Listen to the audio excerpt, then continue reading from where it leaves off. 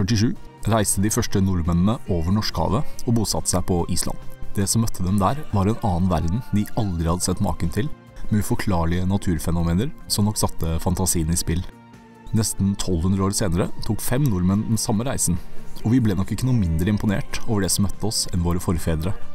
For landskapet på Island er virkelig noe av det råeste man kan oppdrive.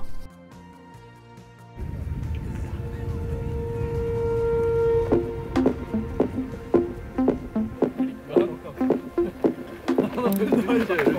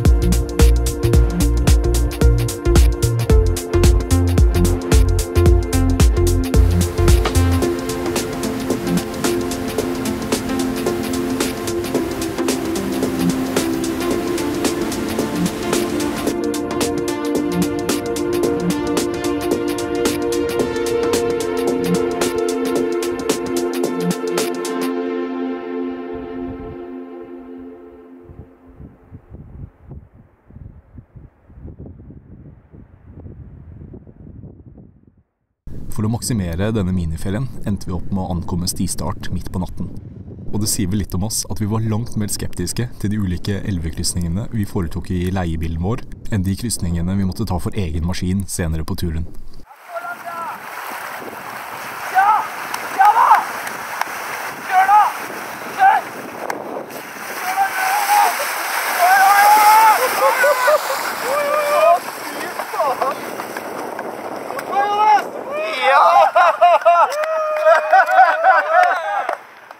Noen av gruppas medlemmer synes dette var såpass stas at de foretrakk denne metoden, selv når det var gode alternativer til stedet.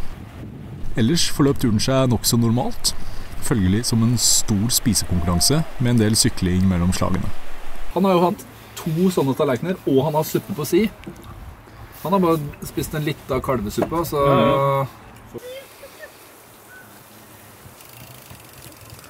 Men så klarte vi også å lure inn en skikkelig avslapningsseanse til stor entusiasme fra deltakerne.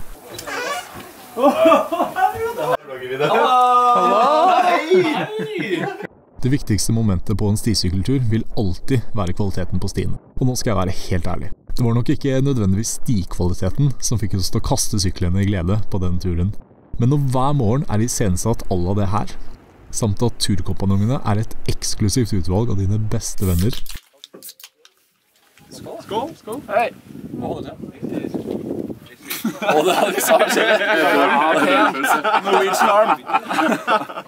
Og når landskapet i tillegg sprenger skalaen så til de grader, ja, da er rammene lagt for en tur som sent kommer til å gå i glemmeboka.